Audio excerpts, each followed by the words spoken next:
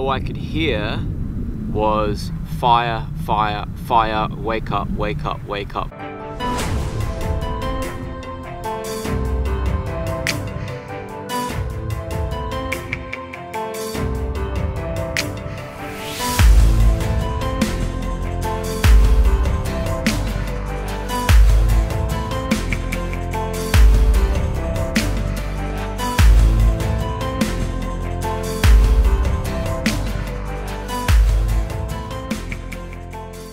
Right, good morning guys. Welcome back to the channel. Welcome back to the vlog. If you are new to the channel, my name is Tristan Mortlock and this is Caps's Vlog. Now today you join me on the coast of Italy. It's a beautiful crisp January morning. We had the weekend off, so no filming on board the boat today. So today I want to talk about the continuation of yachting where we left off. I was just finishing up my time at Marina Marbella. So at this stage I'd spent five seasons now at Marina Marbella and uh, I was doing handovers for the majority of our English speaking clients, now up to 50, 60, 70 foot. Doing day trips with clients as well, doing client boat rescue because we managed, I believe, around five, 600 boats. So we had a rescue boat in case, you know, clients got um, caught in a bit of trouble and needed some assistance. And then I was also doing deliveries to Italy because we um, had a dealership uh, for Dominator and Cantiere di Pisa and so on. Um, so towards the last quarter of 2007 I get a phone call from one of Marina Marbella's salespeople saying that they had a client who's just bought a boat. It was a 78 foot Dominator and he needs a captain to run it for him. Um, you know, we want you to do it. So I was like, sure, yeah, no, no problem, I can do that. So I go meet the client. Um, I recognised him, I met him a few times before because he had smaller boats. He started off with a 24 foot Sea Ray, then he moved to a 29 foot Sea Ray, onto a 58 foot Princess V58, and then finally onto this uh, 78 foot Dominator. So I got chatting to this guy and um, really nice guy uh, talking about his what he wants to do with the boat, what he was trying to achieve, and the base of the ultimate goal. So it's a really interesting project and um, really interesting itinerary. What he wants, a very interesting itinerary, what he wants to do with the boat over the few next few years. So the boat currently is was in um, in Marbella and it's having some work done to it. Second hand, it's two years old and it was there for a few weeks and then we took the boat to Portsmouth and um, the owner pretty much uh, gave to me an unlimited budget. You know he wanted us to kit out the interior with um, linens AV systems you know towels uh, kitchen utensils uh, scatter cushions for the sofas carpets rugs everything you can think of. He wanted it all kitted out but he wanted the best of everything. So this is for me is brilliant so we also discussed about the crew. So I said, well, I'm going to need two additional crew, a stew cook and a deckhand. And he said, yep, no problem. So I find a, a crew members um, and uh, we all start working and then we start kissing the boat with new toys. So we got two brand new sea bobs, we got a brand new jet ski, we've got um, Scubapro diving equipment, all the snorkeling gear, inflatable, um, towable tubes. We had a Avon, I think it was, an Avon jet tender. So all the toys you could possibly imagine. It was, it was fantastic, kitting this boat out. And so we were in Port Banús for a couple of months getting ready, got a new uniform, we put the itineraries together, we did um, servicing on all the equipment, engines, generators, watermakers, you know, the lot. And then, uh, so the plan was, was then to um, take the boat to Morocco. This is now the beginning of January. No, correction, this was the, yeah, this was probably around mid-January.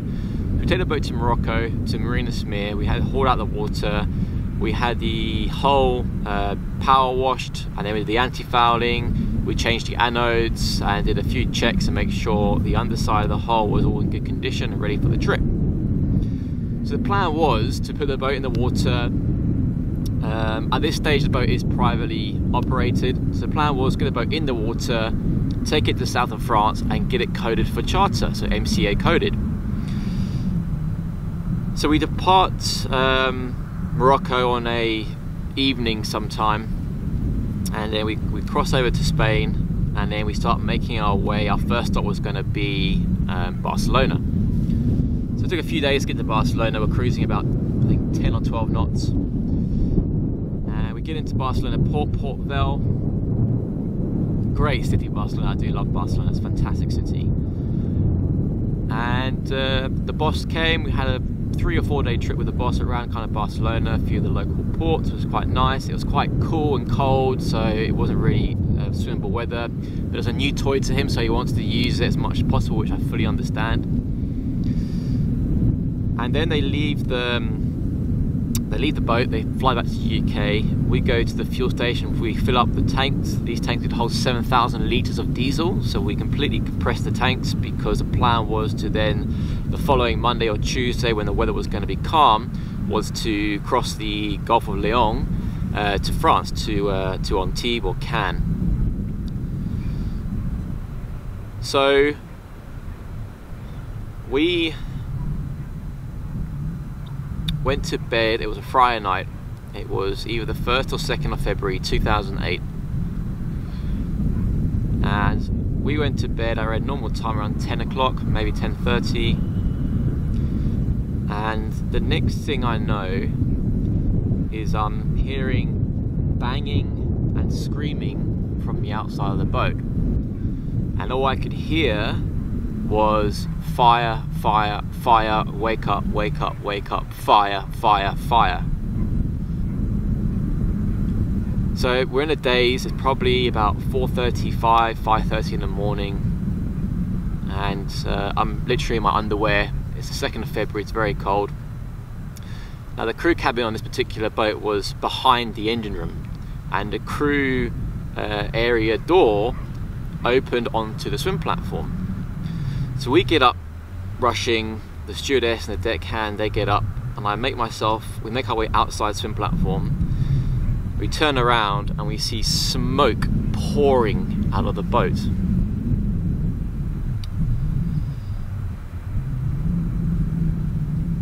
So Tas, my deckhand, he rushed to the bow of the boat where we kept two fire extinguishers. I rushed back down to the crew mess to grab two additional fire extinguishers the two chaps who woke us up, I remember there was a captain on the boat, his name was Tom. I think he was American. I believe the other chap was his mate, who was, um, I think, from New Zealand or Australia, one or the other. They jump on board, we hand them the, extinguisher. Tom makes his way to the to the fly bridge with Tas, my deckhand, and by this stage um, we had smoke pouring out of the sun deck. And what happened was um, the access door was made of glass and from the heat the glass, glass exploded allowing the smoke to pour out to give the fire oxygen. So the other chap I'm really sorry but I can't remember his name um, he and I were on the aft deck and we could feel the heat on the glass on the main door, the main access door. And it went along the lines of, you know, if we open this door, we're going to allow the fire to breathe. And he said, we don't open it, we can't extinguish it. So the plan was we open the door slightly, stick in the nozzle for the extinguisher, and then um, blast the extinguisher. At this stage, the heat radiating off the glass door was you couldn't. I mean, you you could probably easily fry an egg on it. It was so warm. It was so hot, and every, everything was happening so quickly. So we deployed the extinguisher, and we realised at this stage it's too late. There's nothing we can do. So we were, I everybody off the boat. So the guys who woke us up, Captain Tom and his mate, they jumped onto the dock and they were two boats down. So they had to get their boat out of the port, you know, out of the berth, just in case the fire was to spread. And so Tass then got off, Laura stewardess was already off the boat, and I was the last person to step off. And one thing I, re I remember is when I stepped off the boat, as I was stepping off onto the dock, there was this huge explosion. And what it was, it was the aft glass door that this gave way from the heat. I turned around and the glass, the whole door, this door is probably three and a half meters by two meters. This big ball of black smoke kind of like rolls out under the sun deck roof and then it, all of a sudden it kind of ignites like an explosion this flame just comes shooting out the back of the boat so as so basically I stepped off the boat there was this big explosion and this big ball of fire basically came out where I was standing literally three, four seconds before. So we all kind of duck take cover and then we start kind of realizing that, you know, this is going to be something massive. So we weren't sure if there was crew or people on the boats next door, so we start banging and waking them up and people start getting up and, um, you know, try and put the fire out and one thing I uh, I do remember by this by this time the boat's engulfed in flames. And one thing I do remember is I was looking down the dock and I could see one of the port authorities running down the dock with one of those extinguishers on wheels. I was looking at this guy, looking at the boat, and by this thing, by this time, it's all in flames. I'm thinking to myself, what is this guy doing to do with this extinguisher? But as he's running down the dock, he's looking down, he's not looking up. And he looks up, and I couldn't hear what he said, but I could see what his mouth said. Now, his mouth said a, a very rude word in, in Spanish.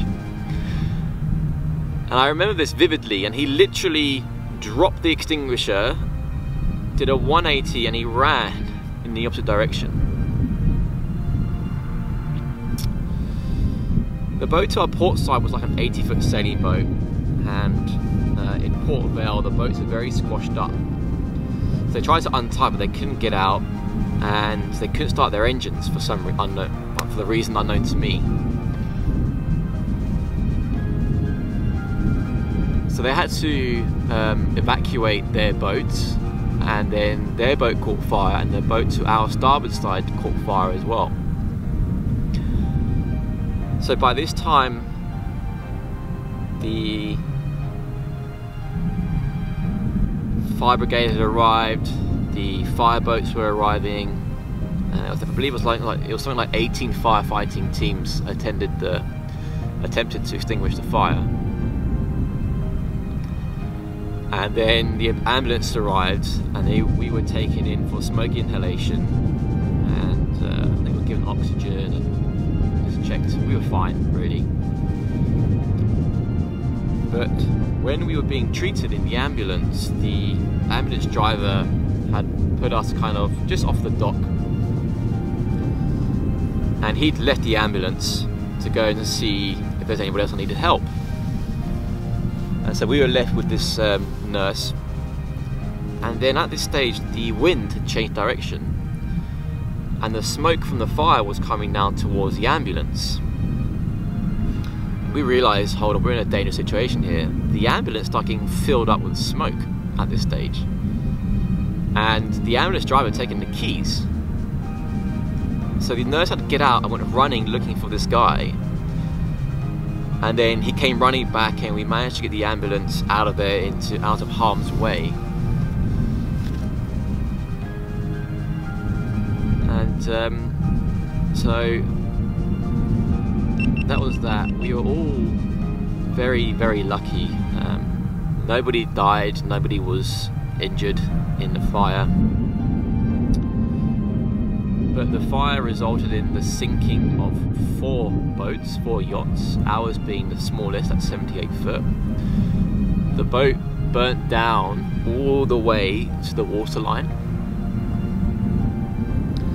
And I was still in my underwear, so I had no clothing, we had no passports, we had no money, no phone, nothing. However, my deckhand, when he woke up, he had put his jeans on. I remember this. And he had left his phone in his pocket from the day before. And at this stage, it's about six in the morning now, and the only number that I knew off by heart was my old boss's number, Mark, Mark Smith. So I call him at six in the morning. He doesn't answer. I call him again. He doesn't answer. He, and the third time he answers, he realizes there's something wrong here. So I was still in quite a lot of shock. I was quite shaky. We all were, to be honest. And I said, Mark, the boat's gone, the boat's gone, the boat's gone. He's like, what do you mean? I said, there's a fire, the boat is gone, it's completely gone. And, and he says, are you okay? Yeah, I'm fine. Uh, you need to phone the boss. I only have this number, get him to call me on this number. So, okay, no worries. Um, leave it with me, we'll sort everything out. Is there anything you need? So I said no. The the the everybody's looking after us. We're okay for now. So anyway, Mark, I put the phone down. Mark obviously gets in contact with the owner of the boat, my new boss, and immediately the boss phones me. I can, I can see his, his number is a UK number, so answer. First thing he says is, "Everybody okay?" Like everybody's fine. He goes, "Tris, it doesn't matter it's an accident, everything's going to be okay. And jokingly, um,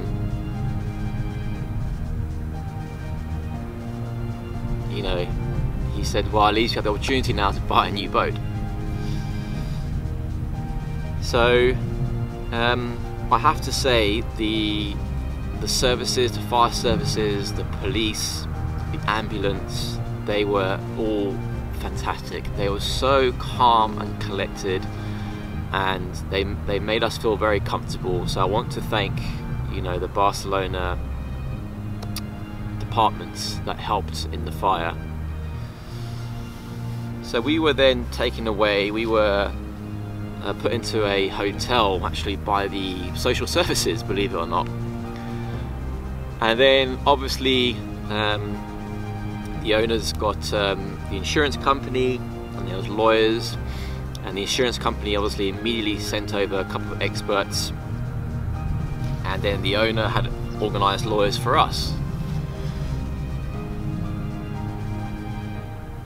And so we go into the lawyer's office the experts from the insurance company arrive one of which is the lawyer and we were interviewed I remember in between 12 and 13 hours independently and we had to write a, a report and he was asking all sorts of questions you know you, to the point where it was um, I felt almost like I was being attacked. Things like he said a comment I remember he said so how many months have you been working on boats for? And I was like well no I've been doing this profession now coming up five years. Tell me about your license tell me about your qualifications and then he moved on to, does the owner have any enemies? I was like, no, of course not. Does he have any reason to set fire to this boat? I was like, no, of course not. We were literally, the crew and I were literally seconds away from death because what kills you in a fire isn't the fire itself, it's the smoke. And this is a, a GRP boat, so glass reinforced plastic, or in other words, fiberglass and all the resins, the varnishes, all those are chemicals and when those get turned into smoke, it's very toxic and that's what kills you in your sleep. So anyway, this, this continued, this, this interview or this interrogation is what it felt like. And over, you know, a period of six months, insurance company decided there was no foul play, it was an accident, and um, they determined the fire to actually have started, was an electrical fire, which they believe started in the dishwasher in the galley because we put the dishwasher on before we went to bed. Um, and then from, you know, from there, what had happened is um, obviously I thought, you know, everybody's okay. It was uh, a very difficult thing to deal with at such a young age. I was 21 at this time. I got my captain's job at 21. I've been working for the guy for about four months and it was pride and joy and I burned it down. You know, I basically killed not only my dream but his dream. And so he, the owner of the boat, didn't have a boat. He kept me employed. He had an apartment in Marbella. He let me stay in his apartment. He fully employed, no boat. He we then ordered another boat but wasn't going to be ready until like June, July time, so six months no boat. So he bought a little Sea Ray 270, great little Sea Ray and a Hobie Cat. But my whole view after that fire completely changed on boating. It really was an awakening. So for you, for those of you that do work in yachting or are new to yachting, and you, you think the fire drills, things like that, it's pointless. Trust me, from talking from experience, it really isn't. You know, we could have easily lost our lives that day and we were lucky that at five o'clock in the morning or four, whatever time it was those two were walking by at that moment and they woke us up. So Captain Tom and the mate I'm so sorry I can't remember your name. If you are watching I want to thank you both for helping us. And I want to thank you both for basically no I want to thank you guys for saving our lives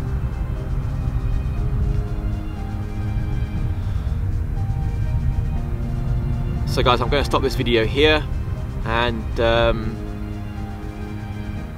the next episode will be the final episode of this series. Uh, I hope you're enjoying the channel. If you haven't already, please do subscribe. Please click that like button. And if you have any questions or comments, please um, do so in the comments box below.